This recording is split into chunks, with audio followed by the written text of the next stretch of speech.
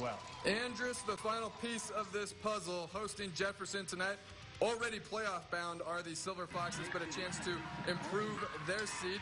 Open up here with uh, Andress on top, 351 to play in the half. Jefferson has the ball. It's Nathan Alcala going to call his own number for the touchdown. Ed, been really impressed with this Jefferson team. I know it's been a tough couple weeks, the past two weeks, but man, have they improved. Yeah, uh, you know, following uh, losing to Austin last week, but uh, if you look at their season, what Coach Tony Martinez has done, uh, Alcala has been a tremendous leader for the Silver Foxes. Yeah, Malcolm Anderson with a touchdown run, and then about uh, defense coming up big with a uh, turnover, and then Andress, this is what they do, Coach.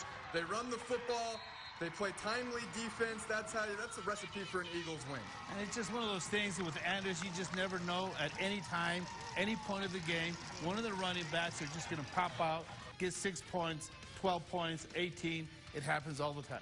Andress wins that one 35 to 21. Hey, a timeout is called. We are just getting started on the program. District titles are spoken for now, but still playoff spots up for grabs. We have all that and more. Don't go anywhere. You're watching 9 Overtime.